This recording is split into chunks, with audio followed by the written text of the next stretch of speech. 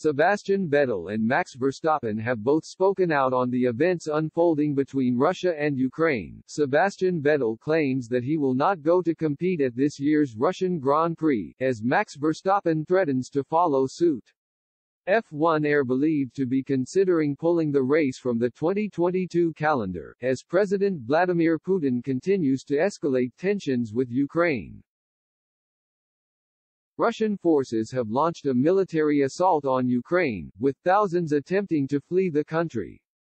Western leaders have promised action against Putin, who formally recognized the independence of breakaway regions Donetsk and Luhansk earlier this week.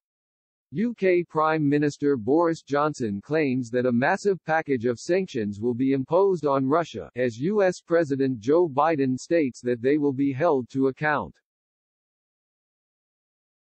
The fallout has also spilled over into the sporting world with this year's Champions League final pulled from St. Petersburg, although the Russian Grand Prix is still penciled in for September as it stands.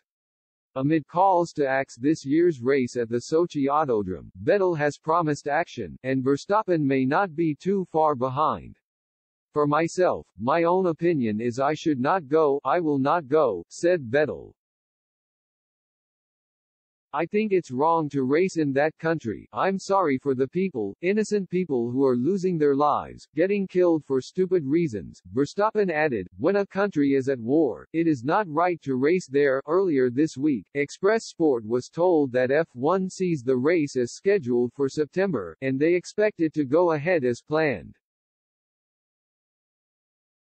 That followed reports from Sky Sports' Craig Slater which claimed that the sports authorities were monitoring the situation between Russia and Ukraine. An F1 spokesperson said on Thursday, Formula One is closely watching the very fluid developments like many others and at this time has no further comment on the race scheduled for September.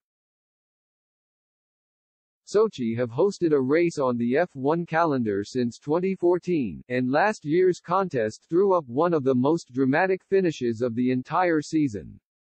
McLaren's Lando Norris looked to be steaming towards his first ever win, before late rainfall prompted teams to make what seemed to be a 50-50 call on tires.